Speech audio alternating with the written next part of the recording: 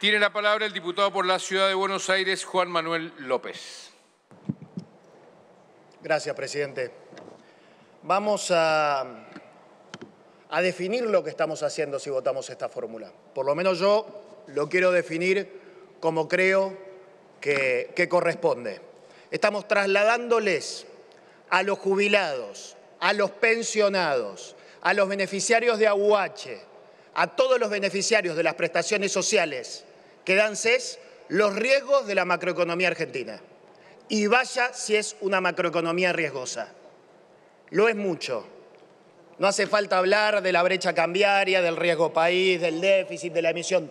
Todo eso, todos esos problemas que tiene nuestra economía, una de las recesiones más grandes del mundo en el año 2020, la política, ni más ni menos, ni bien ni mal, el gobierno decidió trasladárselos a los jubilados, a los pensionados y a los beneficiarios de la UH. Qué pesado cargar con ese riesgo. Qué difícil. A ver, la historia es larga, pero la historia reciente es compleja en relación a la fórmula de movilidad. El gobierno de Néstor Kirchner tuvo superávit, en gran medida porque había muchos menos jubilados y pensionados y porque su, su gracia entregaba o no los aumentos y la jurisprudencia empezó a avanzar. Entonces nos decían que los aumentos, como dice la Constitución en el 14 bis, tienen que ser por una movilidad determinada por algún índice concreto, cierto y claro. ¿Cuál se le ocurrió en el 2008? Que es básicamente a lo que estamos volviendo, una fórmula difícil de entender, que podemos decir que, eh, digamos, se regía por el crecimiento, la recaudación. ¿Por qué pasaba eso? Porque no había INDEC, no había estadísticas en la Argentina. Se había decidido, fue una decisión deliberada del gobierno de Néstor Kirchner y después de Cristina, de que no haya estadísticas. Yo ahora pongo el manto de dudas si volvemos a una fórmula de este tipo porque vamos a decidir en el mediano plazo o en el corto plazo que no haya estadística. Vayamos llamándolo a Marco Labaña, preguntándole si tiene alguna presión, si tiene alguna garantía, si tiene algo. Porque tal vez vamos a decidir esto. Ustedes pueden optar por la inflación. Yo, por lo menos con la inflación, me quedo tranquilo de que el riesgo de, una macroeconomía de las más enfermas del mundo no se lo traslado al poder adquisitivo. Pero supongamos que no. Busquemos otro parámetro objetivo, que esté en alguna estadística confiable. Bueno, por ahora hay estadística. Yo lo pongo en duda. Ahora, ¿cuál es la, la crítica en todo caso más económica más, más evidente, esto de, la, de que es procíclica la fórmula, le ponemos el riesgo de la macroeconomía argentina a todo el sector pasivo, ahora si por casualidad crecemos, no va bárbaro y explota la economía, generamos una incertidumbre más en la sustentabilidad del sistema. ¿Eso es bueno? Yo no lo sé. Yo no lo sé. No lo tengo claro, no sé si lo tienen claro ustedes porque no debatieron seriamente. Hubo una comisión que, como dijo el diputado Cacá, se funcionó un año y poco se trabajó, poca seriedad y poco ustedes dimensionan, creo, los problemas que tenemos los argentinos. Y nosotros también cometimos el mismo error, subestimamos demasiado.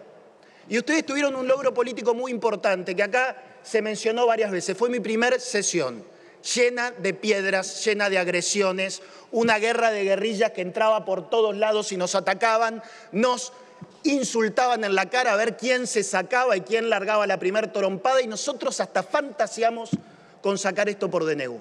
Miren si subestimamos el problema. Y los cráneos del gobierno al que pertenecimos en ese momento subestimaban mucho más diciéndonos, está en la página 15 o en no sé qué página del diario. Y ustedes creen que hoy, porque es 29 de diciembre, porque acá al lado se está debatiendo el aborto, porque no nos están prestando atención porque estamos pensando en la vacuna, en las fiestas, en la pandemia, en el año horrible que pasamos todos los argentinos, también no les va a llegar el problema y no les va a llegar la subestimación. La diferencia es muy grande. La diferencia es muy grande, es la que, que, el logro político que ustedes tuvieron, que nos pusieron a nosotros a la defensiva, sin más iniciativa, sumado a un montón de errores que seguramente cometimos, lo lleva a pensar que a ustedes no les va a pasar lo mismo porque nosotros no los atacamos de la misma manera.